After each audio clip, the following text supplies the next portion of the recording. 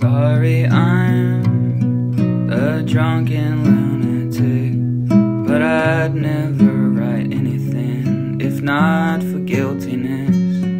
I feel inspired by the friendly orthodontist. She makes me wanna quit music and become a doctor who really cares. Because in our crippled nation, it seems to be increasingly rare fixed my permanent retainer. Told me if it breaks again, come back and she'll fix it, no charge. She recommended me a dentist.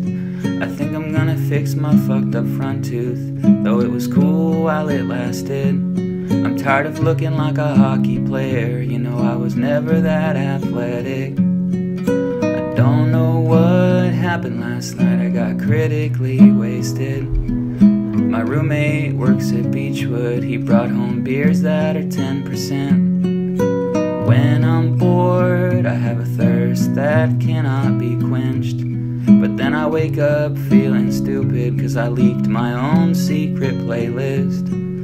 But bless that orthodontist, so kind and sincere. Fuck playing music, I'm gonna get into healthcare joking.